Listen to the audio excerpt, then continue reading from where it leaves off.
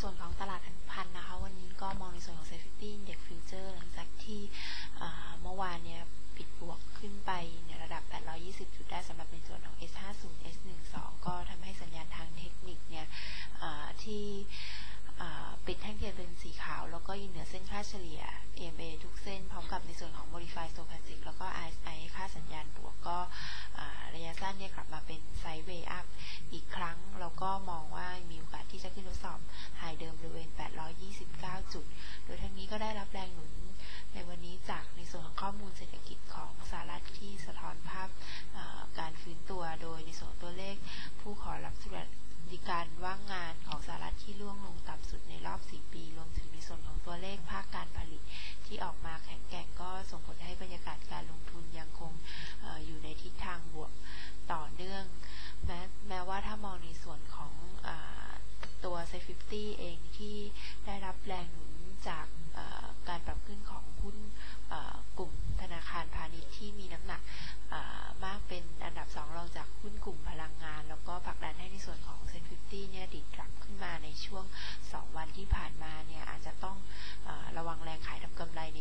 ดังกล่าวเหมือนกัน แล้วก็มองมองในเรื่องของราคาน้ำมันในตลาดโลกที่ยังคงปรับตัวลดลง ก็เป็นปัจจัยลบต่อหุ้นกลุ่มพลังงานในบ้านเรา ก็ทำให้ยังอาจจะมีความผันผวนหลังจากที่ในส่วนของตัว S50 S12 มีแนวโน้มที่จะเปิดขึ้นไป แล้วก็ทดสอบระดับ 829 ถึง 835 จุด ซึ่งมองเป็นแนวต้านในวันนี้ โดยทั้งนี้ก็แนะนำว่าสำหรับผู้ที่มีสถานยังมีคงมีสถานะช็อตอยู่ก็ให้ปิดไปก่อน แต่ว่าการจะเข้าไปเปิดลองแนะนำเป็นเพียงการเก็งกำไรสั้นๆ ระหว่างวัน ทั้งนี้ก็ให้ป้องกันความเสี่ยงโดยตัดขาดทุน ถ้าหากว่าปรับตัวลงมาที่ระ Set 50 Index Option หลังจากที่ในส่วนของ Put Call Volume ปรับตัวลดลงมาในวันก่อนหน้านี้ ก็มีการอีกตัวกลับขึ้นมาเล็กน้อยแต่ยังอยู่ใกล้ ๆ ระดับ 1 เท่า ส่วน Put Call Open Interest ก็ค่อนข้างทรงตัวอยู่ที่ระดับ 1.68 เท่า ส่วน Implied Volatility โดยรวมใน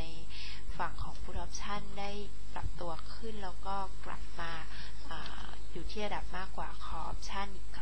รั้ง ก็แนะนำว่าสำหรับผู้ที่มีสถานะเก่งกำไรในรองผู้สัญญาเดือนมีนาที่ราคาได้820ถึง830 จุด อาจจะพิจารณาปิดสถานะการเก็งกำไรไปก่อนถ้าหากว่าเซฟิตี้สามารถ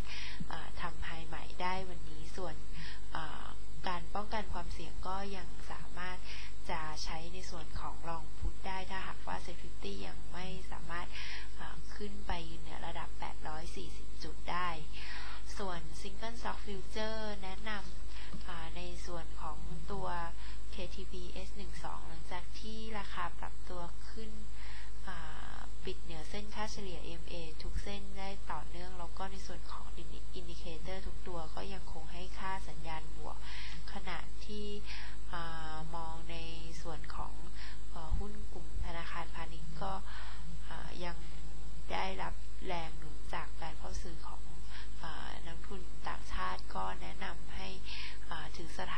องต่อโดยป้องกันความเสี่ยง ถ้าหากว่าปรับตัวลงมาที่ระดับ 17.50 บาท ก็ให้ปิดการขาดทุนออกไป ส่วน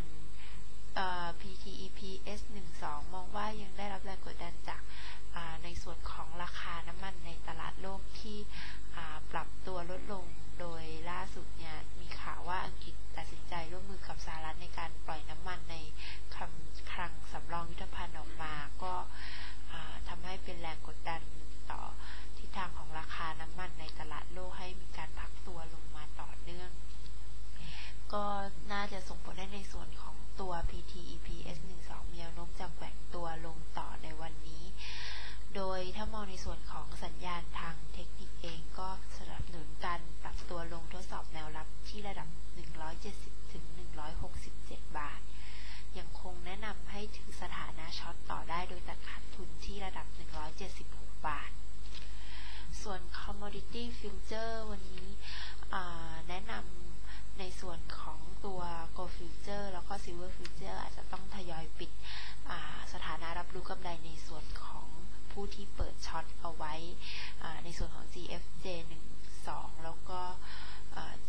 10J12 รวมถึงในส่วนของการเปิดสถานะช็อต SVJ12 ที่แนะนำไปในช่วงก่อนหน้านี้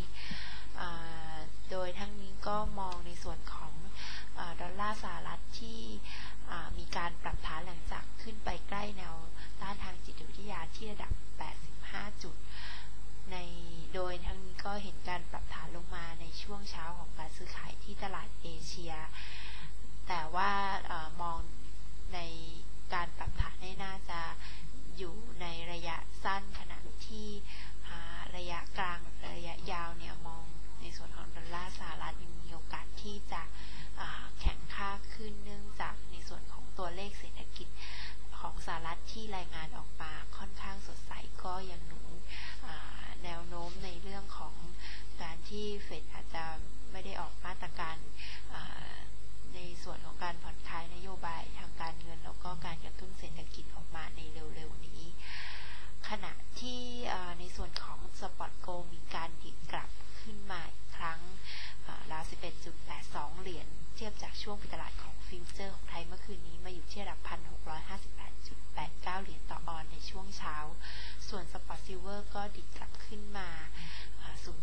0.48เหรียญ